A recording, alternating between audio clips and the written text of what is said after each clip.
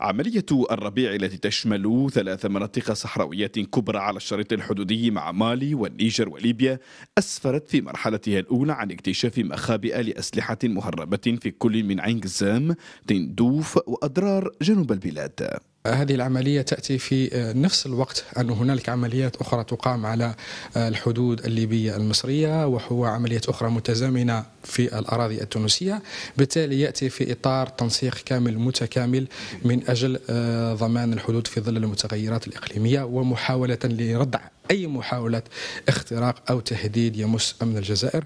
العملية العسكرية البرية المدعمة بغطاء جوي سبقها تقص استخباراتي ما بين دول الجوار والبدو الرحال لتطويق مهربي السلاح والمخدرات.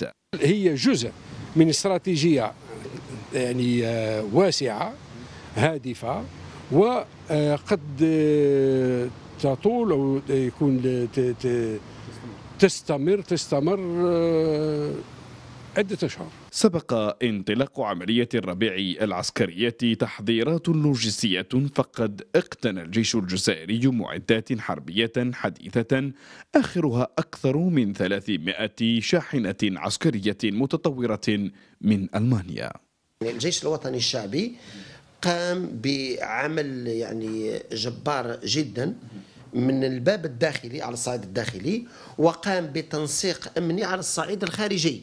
مع دول الساحل ومع مع الدول أو القوى العظمى. عملية الربيع العسكرية ستستمر شهورا لتستكمل أهدافها والمخططات الأمنية السابقة الرامية أساسا لحماية الحدود من التهديدات الإرهابية. بالتزامن مع المساعي السياسية والدبلوماسية للقضاء على بؤر التوتر في الجوار الجزائري وعلى الحدود يعزز الجيش الجزائري نشاطه ويكثف حملاته لتطويق تجارة الأسلحة والتهريب بهدف تجفيف منابع الإرهاب خاصة على الحدود الجزائرية الليبية وهو هدف حملة الربيع العسكرية أسامة عبد النور العاصمة الجزائرية الميادين.